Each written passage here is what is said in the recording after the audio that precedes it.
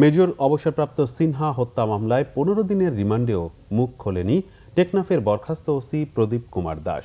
এদিকে সিনহা হত্যার ঘটনায় পুলিশের করা মামলার তিন সাক্ষীকে তৃতীয়বারের মতো তিন দিনের রিমান্ড মঞ্জুর করেছে আদালত।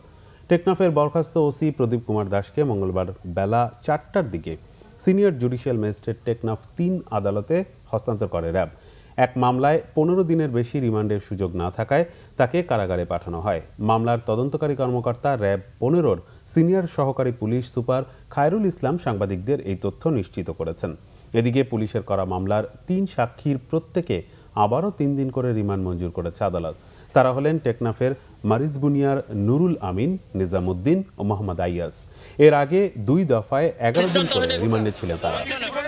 না ওয়ান সিক্সটি তো আমরা করার জন্য নিয়ে আসিনি ভাই। আচ্ছা কেন নিয়ে আসছেন এটা এটা রিমান্ড শেষ আমরা শুধু জমা দেওয়ার জন্য আসছি। আচ্ছা রিমান্ড চাওয়া হয়েছে কি? না না না আর রিমান্ড চাইনি।